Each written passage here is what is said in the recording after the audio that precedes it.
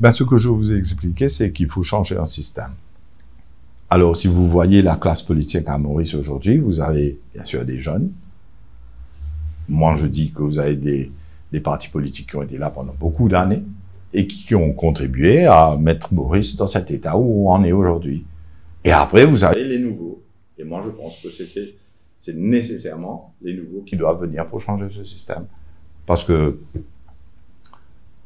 vous savez, si vous avez une vieille bouteille, vous êtes en train de mettre un peu de a new wine, hein, de nouveau vin dans une vieille bouteille où vous avez des trucs qui se sont accumulés au fil des années dans cette bouteille, ben, je pense pas que ce vin aura un bon goût.